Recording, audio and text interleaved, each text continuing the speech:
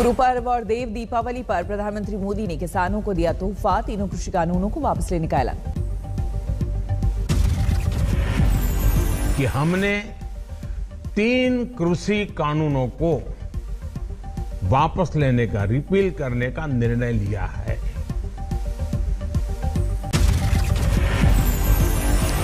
प्रधानमंत्री ने किसानों को दिलाया भरोसा, बोले संसद के शीतकालीन सत्र में होगी कानूनों को वापस लेने की प्रक्रिया।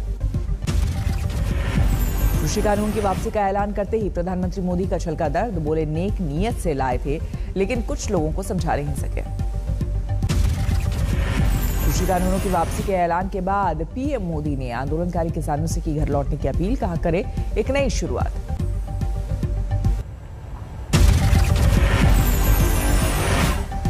आज गुरु पर्व का पवित्र दिन है। अब आप अपने अपने घर लौटे, अपने खेत में लौटे, अपने परिवार के बीच लौटे। आइए, एक नई शुरुआत करते हैं। प्रधानमंत्री के ऐलान के बाद भी आंदोलन खत्म करने के लिए तैयार नहीं किसान। राकेश टिकैत बोले, अभी कई मसलों पर बाकी है बात। तो भी मामले होंगे। ये आंदोलन समाप्त हो जाएगा वो बातचीत अपना चलती रहेगी। कभी भी एक महीने में बात होनी दस दिन में बात होनी वो अपना बातचीत चलती रहेगी उसमें मुकदमे भी आएँगे सीट बिल भी आएगा। खेती कानूनों की वापसी के ऐलान को लेकर कांग्रेस ने सरकार को घेरा। प्रियंका गांधी ने बताया चुनावी दाव। वो आज माफ़ी मांग रहे हैं। जब 600-700 किसान शहीद हो चुके हैं क्यों मांग रहे हैं? क्या ये देश समझ नहीं रहा है कि चुनाव आ रहे हैं? अखिलेश यादव ने खेती कानूनों पर फैसले को लेकर मोदी सरकार पर किया हमला बोली ये अहंकार की हार। अजदुद्दीन ओवैसी ने भी सरकार पर साधा निशाना बोले बहुत देर कर दी मेहरबा आते आते। ये फैसला बहुत देर के बाद हुआ है। बहुत देर लगा दी मेहरबा आते आते। और केजरीवाल ने बताया देर से लिया गया फैसला कहा नहीं मारे जाते 700 किसान तो अगर ये जल्दी हो जाता 700 किसान को शहादत से बचाया जा सकता था। आ, लेकिन आज भी उनकी जो सफलता है ये सफलता कोई छोटी सफलता नहीं है बहुत बड़ी सफलता है। लालू यादव ने आंदोलन जारी रखने का किया समर्थन बोले एमएसपी पर ज़रूरी है कानून। काला कानून है ये था अभी ख़त्म नहीं हुआ है। अभी एमएसपी बाकी है बिजली का बाकी है। जो मरे उनको शहीद का ज़्यादा देने का सवाल है। पीएम के ऐलान के बाद मायावती ने भी उठाया एमएसपी का मुद्दा कहा सरकार को जल्द लेना चाहिए फैसला। पंजाब के पूर्व सीएम कैप्टन अमरिंदर सिंह ने पीएम मोदी के फैसले का किया स्वागत। कहा, गुरु पर प्रधानमंत्री ने दी अच्छी खबर। कृषि कानूनों को वापस लेने के फैसले के बाद यूपी में ट्रैक्टर रैली निकाल रही है बीजेपी। मथुरा के कार्यक्रम में नज़र आई हेमा मालिनी। खेती कानूनों को वापस लिए जाने के ऐलान के बाद ज़बरदस्त खुशी मुजफ्फरनगर में। खेतों में नाचते गाते दिखे किसान। पीएम के फैसले पर चंडीगढ़ में आंदोलनकारी किसानों में जश्न, लड्डू खिलाकर एक दूसरे का मुँह मीठा किया। कृषि कानून वापसी पर देर, देश में जगह जगह दिखी किसानों की खुशी। गाजीपुर बॉर्डर पर आंदोलनकारी किसानों ने बांटी जलेबी। कृषि कानून की वापसी पर प्रयागराज में मना जश्न। ढोल नगाड़े के साथ चौराहे पर जुटे भारतीय किसान यूनियन के कार्यकर्ता। यूपी के बाराबंकी में किसान संगठनों ने कृषि कानूनों की वापसी पर खेली होली, जमकर किया भंगड़ा। सीकर में राष्ट्रीय लोकतांत्रिक पार्टी ने मिठाई खिलाकर और पटाखे चलाकर मनाई खुशी, सरकार का किया धन्यवाद। रेवाड़ी टोल प्लाजा पर बैठे किसानों के चेहरे पर लौटी खुशियाँ, लड्डू खिलाकर एक दूसरे का मुँह किया मीठा। खेती कानूनों की वापसी के ऐलान के बाद सुलग रही सियासत, मारे गए किसानों की याद में यूथ कांग्रेस ने निकाला कैंडल मार्च झांसी के राष्ट्र रक्षा समर्पण पर्व में शामिल हुए प्रधानमंत्री मोदी, ऐतिहासिक किले के में महारानी लक्ष्मीबाई की प्रतिमा का किया अनावरण। झांसी में पीएम मोदी ने भारतीय वायुसेना को सौंपे एचएल के लाइट कॉम्बैट हेलीकॉप्टर। बोले सेनाओं को आत्मनिर्भर बनाने के लिए हो रहा काम। झांसी में पीएम मोदी ने नौसेना को सौंपा। डीआरडीओ के बने इलेक्ट्रॉनिक वॉरफेयर सूट। थल सेना को दिए देसी ड्रोन और यूएवी। झांसी में पीएम मोदी ने की एनसीसी के पूर्व छात्र संघ की शुरुआत। पहले सदस्य भी बने। पूर्व और वर्तमान कैडेट्स को एक मंच पर लाना है मकसद। झांसी से पहले महोबा पहुँचे प्रधानमंत्री मोदी। अर्जुन सहायक परियोजना समेत सवा तीन हज़ार करोड़ के प्रोजेक्ट्स का उद्घाटन। महोबा में प्रधानमंत्री मोदी ने विपक्ष पर साधा निशाना बोले पुरानी सरकारों ने सिर्फ़ लूटा। लंबे समय तक शासन करने वालों ने बारी बारी से इस क्षेत्र को उजाड़ने में कोई कसर नहीं छोड़ी।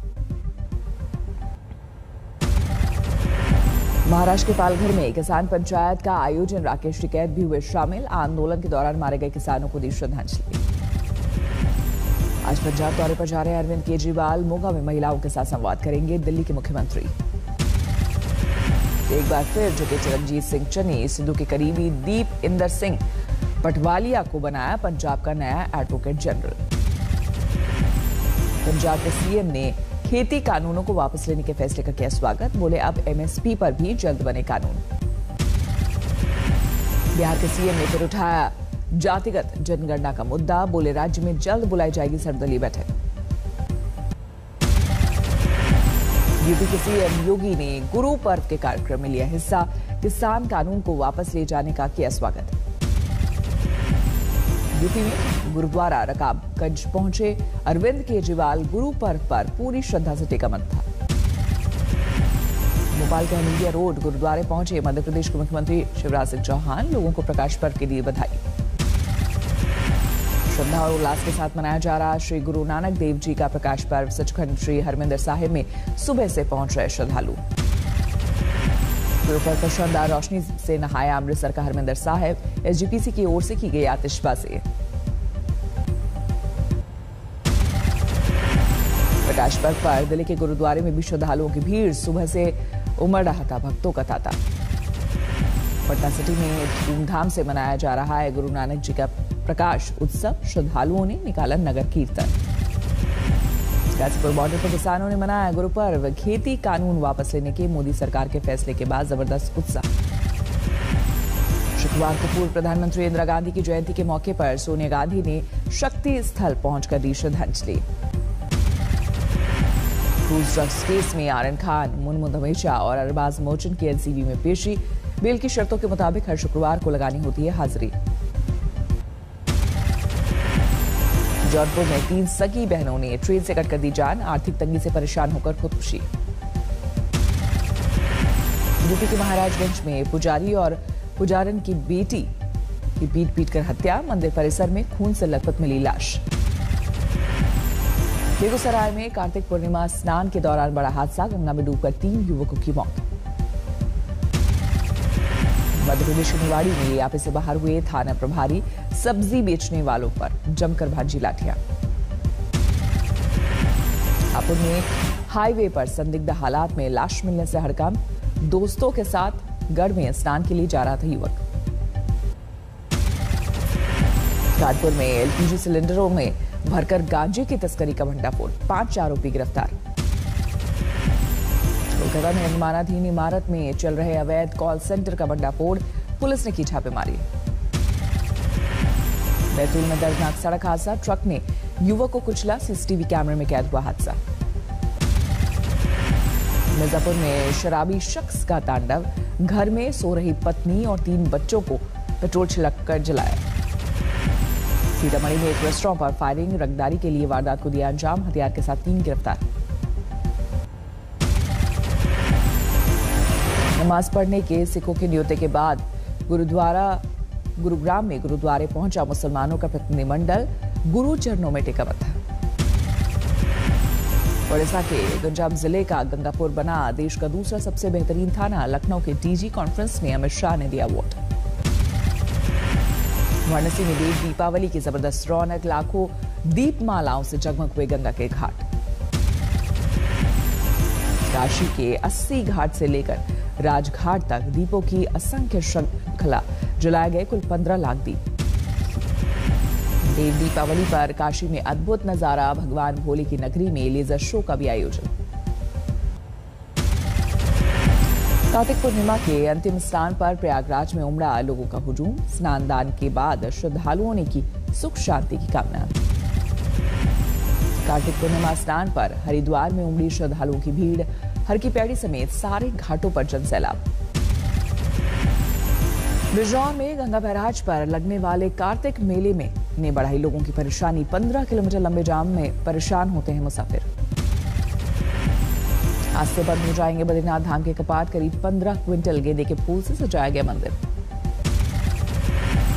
आगरा में भगवान की अनोखी भक्ति का हैरान करने वाला मामला। लड्डू गोपाल की प्रतिमा का इलाज कराने जिला अस्पताल पहुँचे पुजारी। गुजरात के नवसारी में तेज बारिश, कई इलाके में सड़कों पर भरा पानी। तमिलनाडु के कई हिस्सों में जारी है भारी बारिश का कहर। वेल्लोर में घर गिरने से चार बच्चों समेत नौ लोगों की मौत। भारी बारिश से आंध्र प्रदेश में बाढ़ जैसे हालात जलमग्न हुई। भगवान वेंकटेश की नगरी तिरुपति। आंध्र प्रदेश के अनंतपुर में भारी बारिश से कोहराम जिला मुख्यालय से टूटा पंद्रह गाँवों का संपर्क जगह जगह फंसे हैं लोग। भारी बारिश ने बैंगलोर को भी किया बेहाल, रिहायशी इलाकों में पानी भरने से लोगों की बड़ी मुश्किल है। टेस्टिंग के पहले दिन 27 फरवरी। माफ़ करिएगा लिस्टिंग के पहले दिन 27 फ़ीसदी लुढ़क कर 1560 पर पहुँचा। पेटीएम का शेयर एक दिन में निवेशकों को अड़तीस हज़ार करोड़ का हुआ नुकसान। प्री कोविड स्तर के करीब पहुँचा। हवाई यातायात कोरोना काल के पहले के पिचासी फ़ीसदी के बराबर हुआ एयर ट्रैफ़िक। एमएसएमई को एक करोड़ तक लोन देने के लिए गूगल सिड्डी सिडबी ने मिलाया हाथ। 110 करोड़ रुपए का कॉपस फंड तैयार। अलीबाबा ग्रुप के ड्राकमा को भारी पड़ा चीन सरकार के खिलाफ बोलना। जुलाई सितंबर तिमाही में इक्यासी फ़ीसदी लुढ़का। कंपनी का मुनाफा। आठ दिसंबर को आएगा घरेलू एयरलाइन, गो एयर का आईपीओ छत्तीस सौ करोड़ रुपए, जुटाकर कर्ज घटाने में होगी मदद। नहीं सुधरा दिल्ली की हवा का स्तर बहुत खराब कैटेगरी में है एक्यूआई नीली रोशनी में नहा है Rashtrapati Bhavan world children day पर बाल अधिकारों को लेकर एकजुटता का प्रदर्शन। कोरोना के बढ़ते मामलों ने ऑस्ट्रेलिया को किया परेशान, सरकार ने फिर से किया लॉकडाउन का ऐलान। बेलारूस, पोलैंड सीमा पर अब भी बड़ी तादाद में मौजूद है प्रवासी। कड़कड़ाती ठंड में खुले में सोने को मजबूर है महिलाएँ और छोटे बच्चे। अंतर्राष्ट्रीय रिश्तों को मज़बूत करने की कोशिश में जुटा तालिबान। काबुल में जर्मनी और नीदरलैंड्स के प्रतिनिधियों से विदेश मंत्री की मुलाकात।